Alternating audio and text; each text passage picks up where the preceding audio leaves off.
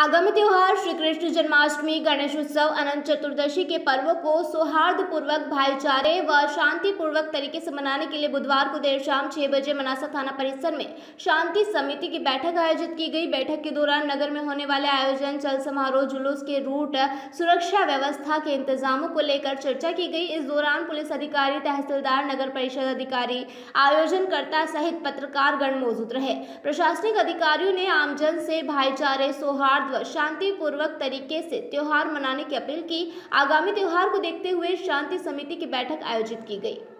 मनासा से बद्रीलाल गुर्जर की रिपोर्ट।